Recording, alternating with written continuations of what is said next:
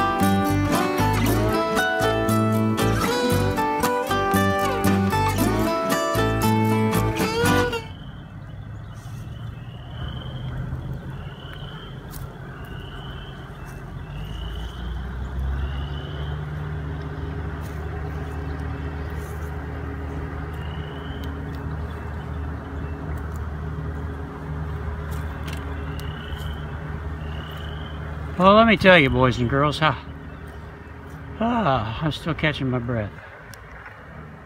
How much work there is. in what seemed, to me, to begin with, just an afternoon's work. Well, turned out to be two afternoons' work, and then some.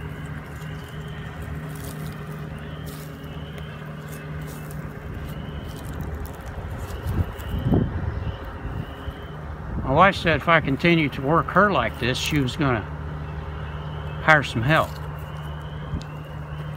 I said, well, you're probably going to be in trouble because when you hire help, they like to get paid, and I don't know where you're going to get the money.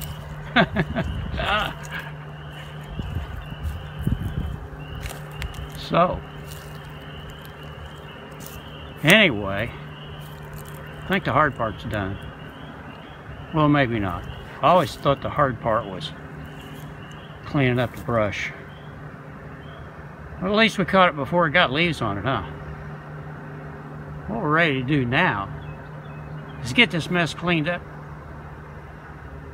and go to the garden and make it look pretty. Hello YouTube.